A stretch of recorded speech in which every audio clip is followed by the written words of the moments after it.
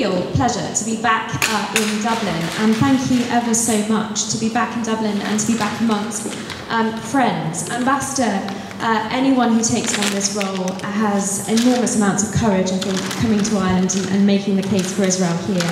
Uh, and it's a great pleasure to have met you this evening.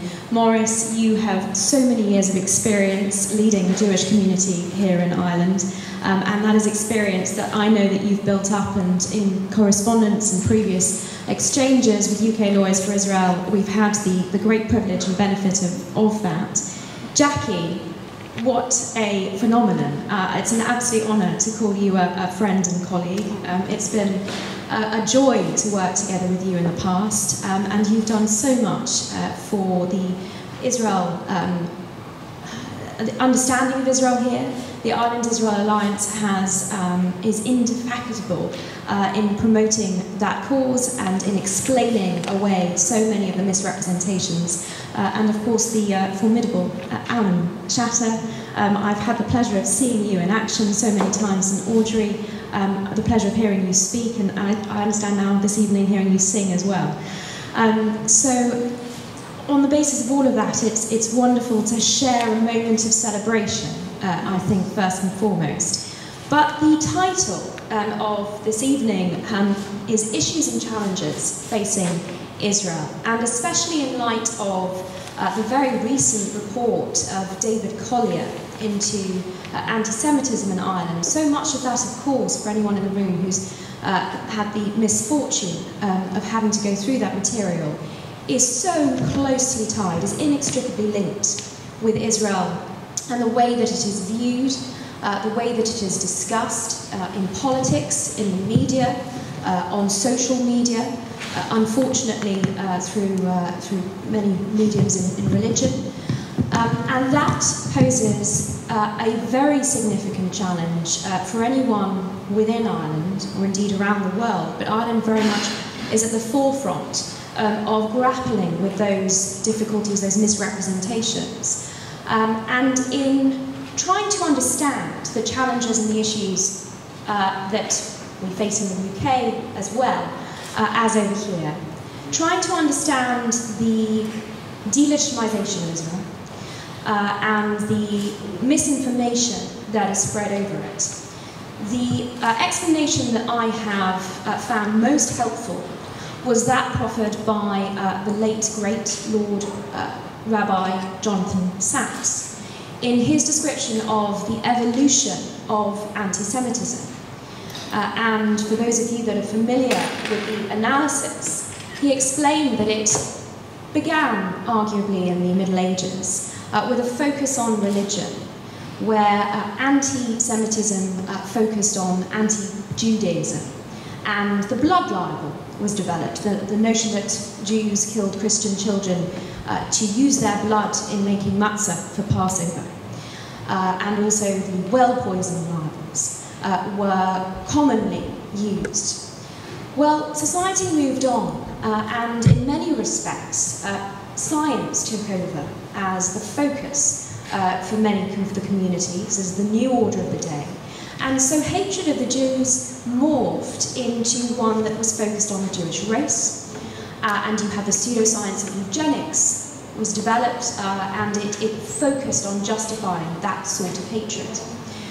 Well, Lord Sacks uh, proffered that the modern order of the day had moved on even from science and that today it focused on uh, international law and human rights. That was the highest order. And then, of course, the hatred of the Jews had morphed into the world of human rights and international law and was focused on the Jewish state. And in addition to the security challenges, which we all know and understand, and, and the ambassador has spoken to this evening, that Israel has become adept at grappling with, miracle after miracle, war after war, that Israel uh, managed to develop new technologies to combat the military threats uh, that it has met at every turn.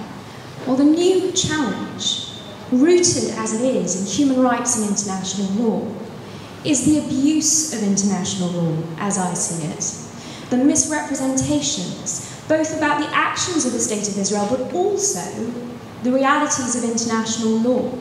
And so, occupation, ethnic cleansing, uh, colonialism, those uh, misrepresentations, those myths are the modern blood libel.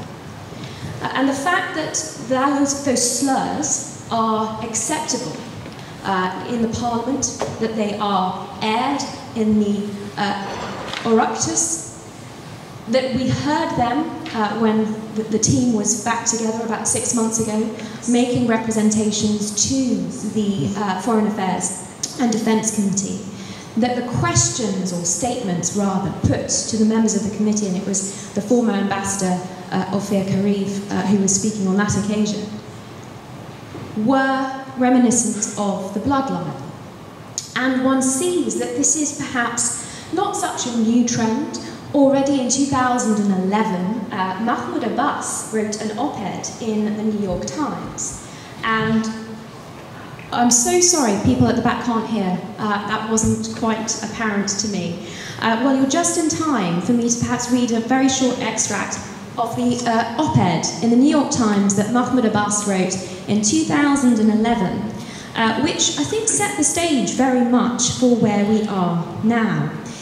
Uh, he said Palestine's admission to the United Nations would pave the way for the internationalization of the conflict as a legal matter, not uh, just a political one. It would pave the way for us to promote uh, and pursue claims against Israel at the United Nations, human rights treaty bodies, and at the International Court of Justice. So that was Mahmoud Abbas's declaration of lawfare, the abuse of international legal institutions to continue to wage war against Israel, uh, where conventional means had failed. For example, uh, in claims at the ICJ, which the International Court of Justice, which has brought against the Americans uh, for daring to open an embassy in Jerusalem. Uh, the case that it is pursuing at the International Criminal Court uh, is entirely underpinned by uh, this notion of lawfare and also by armies of NGOs, an industry of NGOs that has been developed and is very well funded uh, to provide the fodder for uh, the International Criminal Court to investigate and for one committee after another at the United Nations to make condemnations based upon that misinformation uh, and those uh, distortions. And we saw this recently, and very unfortunately, Ireland took part in the fourth Durban conference uh, at the United Nations General Assembly in uh, New York, and we see it on a regular basis in Geneva, where at the UN Human Rights Council, Israel is a standing agenda item, item seven, and I have been there a number of times myself to witness uh, the outrageous accusations that are levied. And simply saying it isn't true, obviously, uh, doesn't cut it. And the difficulties that we face are in explaining away these untruths. And the fact that for the vast majority of people, and I see it here especially in the press and in politics, there simply isn't the uh, bandwidth to listen. And I appreciate that many of you have had these experiences over and over again on a positive note, um, what I can offer perhaps is to say you're not alone.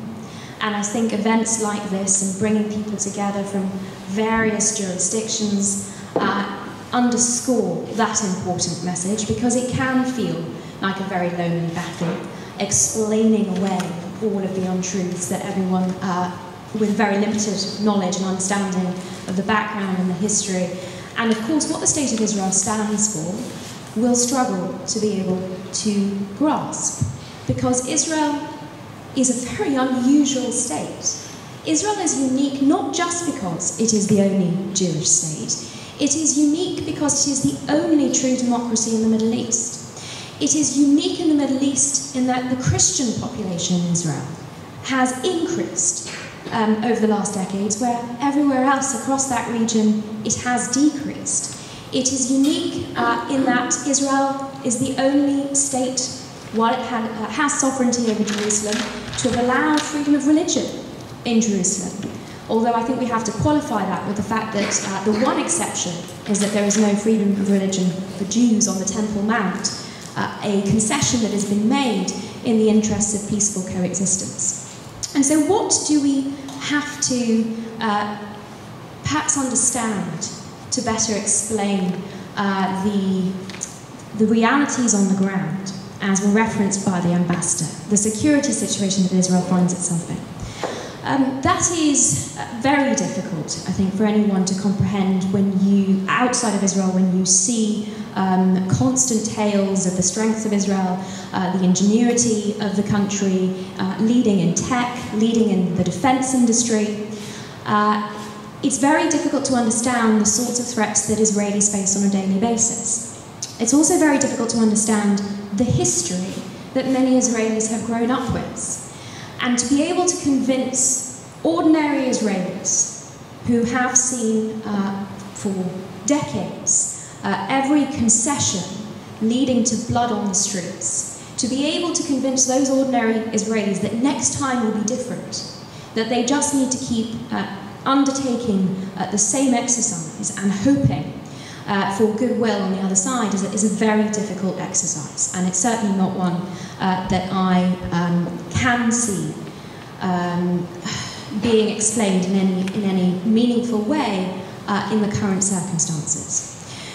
On the basis of all of the um, sort of negativity that I, I'm afraid was merited by the title of Issues and Challenges Facing Israel, um, it strikes me that there is an incredibly powerful weapon that we have on this side uh, of the table, and that is the truth. Uh, and one of the issues that uh, I took that was positive from the report that David Collier put together is the ease with which he was able to debunk all of the appalling material that he put uh, into that report after years of uh, research.